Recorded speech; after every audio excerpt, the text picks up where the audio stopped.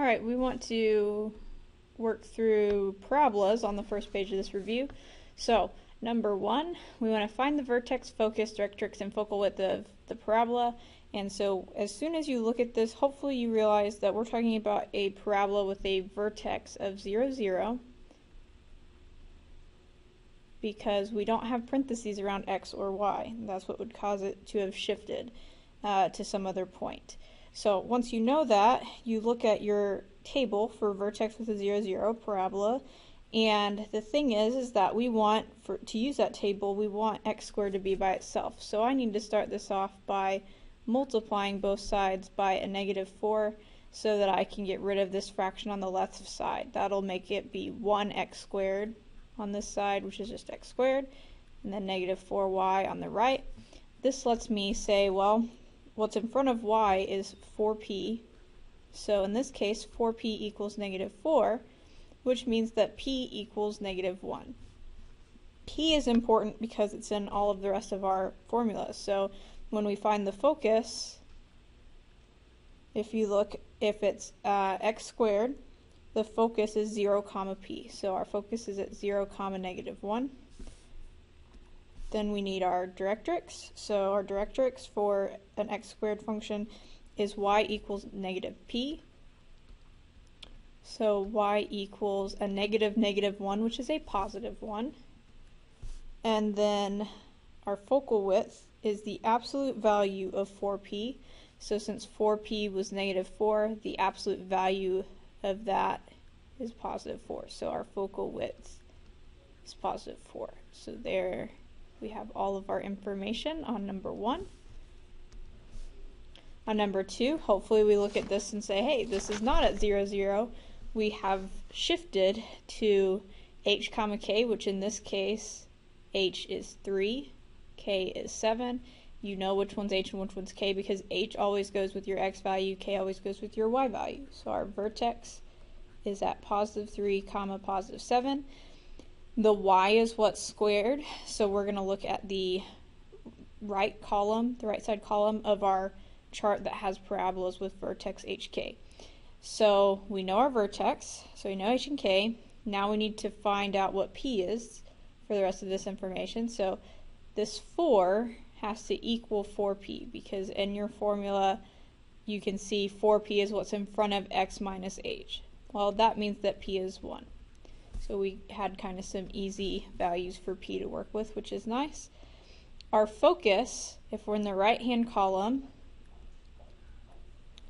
is H plus P. So that's 3 plus 1, which is 4, comma K, which is 7. So our focus is at 4 comma 7.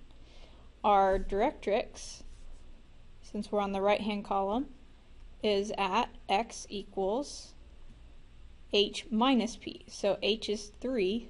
We're going to subtract p, which was 1. 3 minus 1 is x equals 2. And our focal width is the absolute value of 4p. 4p is 4, so our focal width is positive 4. That's 2. On the next two problems, we want to find the standard form of the equation of the parabola using the information they've given us. So if our focus is at 0 comma negative 5, that means that, um, and then our directrix is at y equals 5, that's a situation where we have to have a vertex at 0, 0, because otherwise these two numbers wouldn't be the same. They would be two, like they're the same number but with different signs. So that, that means we have to have a vertex at 0, 0. And so that helps us know what page to look at, which table to look at. We want to look at vertex with 0, 0. And then if this is 0, comma negative 5, that's telling us 0, comma p. And the directrix is telling us y equals negative p. And from both of those things, we know that we're in our first column, which is x squared equals 4py. But p you hopefully can easily see that p has to be negative 5 from what they gave us because our focus is 0 comma p and they gave us 0 comma negative 5.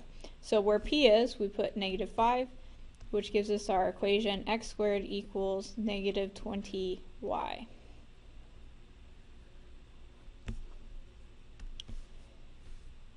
um, this time they gave us our vertex, so that's h and k.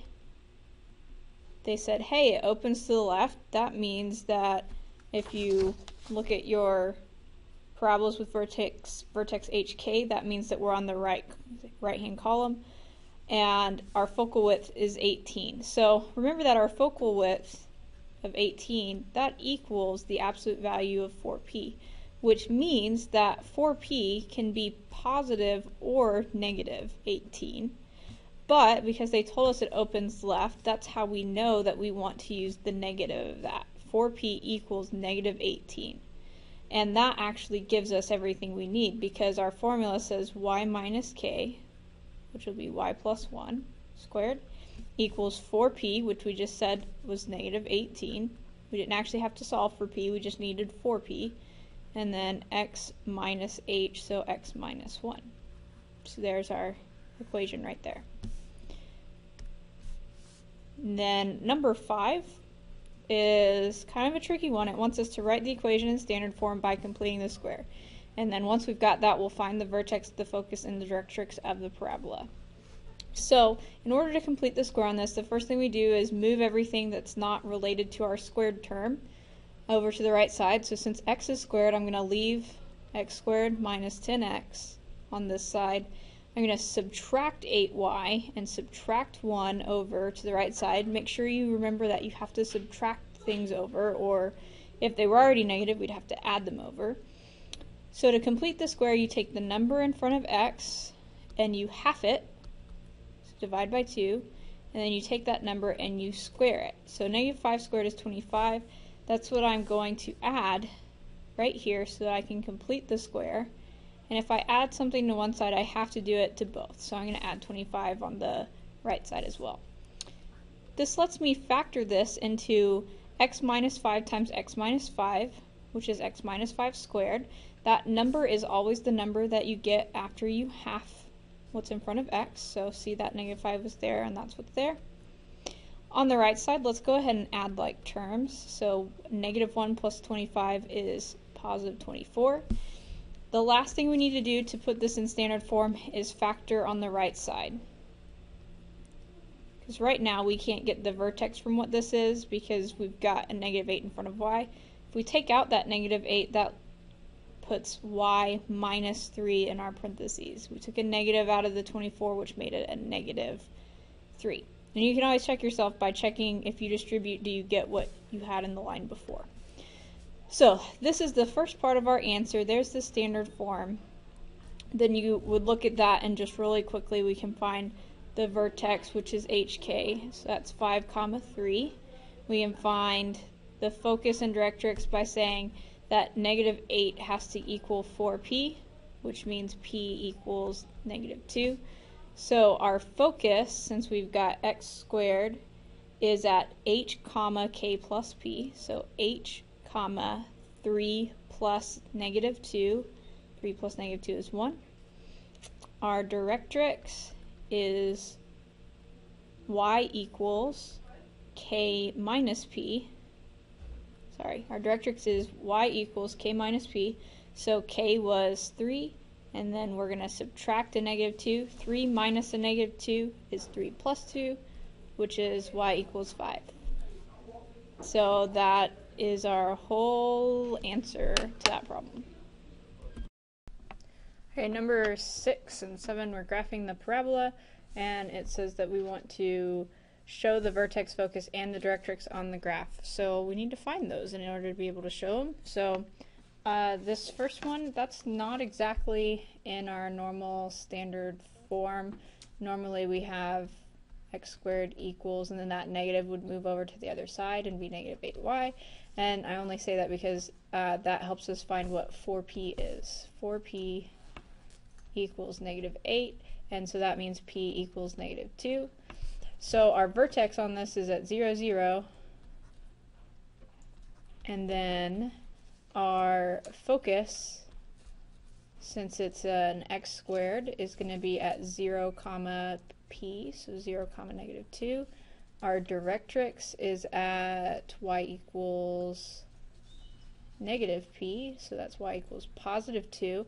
the other thing actually that is helpful is our focal width has to be 8. It's the absolute value of 4p. So our focal width will be 8. Using these things we can get a nice picture of this graph. We know the vertex is 0, 0. We have a focus at 0, negative 2. The directrix is at positive 2. You can put like a solid line for this or a dashed line. It's um, not going to really matter. It's not really an asymptote, it's just a line of reference. Uh, and then what I'm going to do is I'm going to use the focal width. So at the focus here at 0, negative 2, our graph is 8 wide, which means it goes 4 to the right and 4 to the left. And then we just draw our parabola through that, like so. Okay, so there's our parabola on that one. Number 7, this one is in standard form. I've got to flip over and look at the other page where our vertex is at HK. So this is H, this is K, this is 4P, which means if 4P equals 2, that means P equals 1 half. If that doesn't make sense to you, then set up your equation and solve it. The vertex is at negative 3 comma positive 2 because it's opposite signs and 3 is with x. Our focus then is going to be, uh, since this is y squared, our focus is at h plus p comma k. So negative 3 plus a half is negative 2 halves, or you could get a common denominator and put an improper fraction, but negative 3 we're adding a half, so that's negative 2 halves, comma 2 and our directrix is at, I just wrote y, but I meant to write x equals h minus p. So negative 3 minus 1 half is negative 3 halves. So this is kind of tiny and maybe a little difficult to draw, um, but we've got a dash, or our directrix is at negative 3 half, just right here but for x, so that's wrong. Oh snap.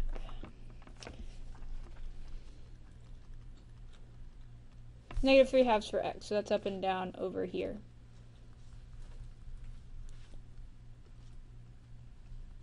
And then our um, vertex is at negative 3, 2, which is right here. And our focus is at negative 2 halves, comma 2. So halfway between here, and that's going to be hard to show, our focal width is 2, so it's going to go one this way and one this way. So it gives this little bit, little bit parabola right here, like this. Now keep in mind that you can also use your calculator to help you graph these by typing it in to y equals and looking at your table of values to help you plot some points. So now, number 8. Now, the thing is, is on this, a lot of times you may think they're telling you about the focus, but they're not. They're just telling us about this point over here and this point over here on the parabola. That's what the 20 and the 1 here are telling us. This point, since it's 20 all the way across, would have to be 10 comma 1. This point would be negative 10 comma 1.